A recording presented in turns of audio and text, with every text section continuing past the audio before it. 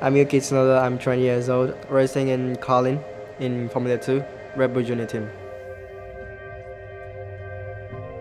I came to Scuderia AlphaTauri to make my Formula 1 seat.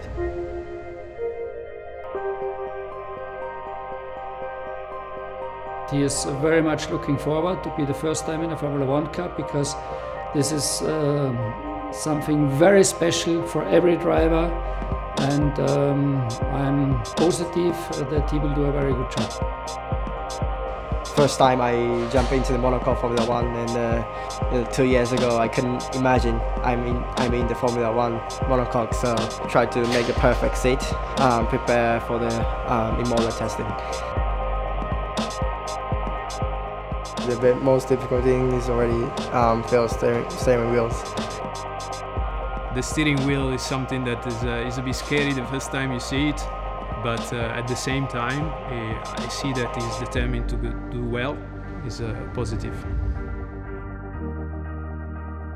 I think I don't have to change the driving style or anything. Just uh, push from the beginning, lap one, and enjoy it. Yeah.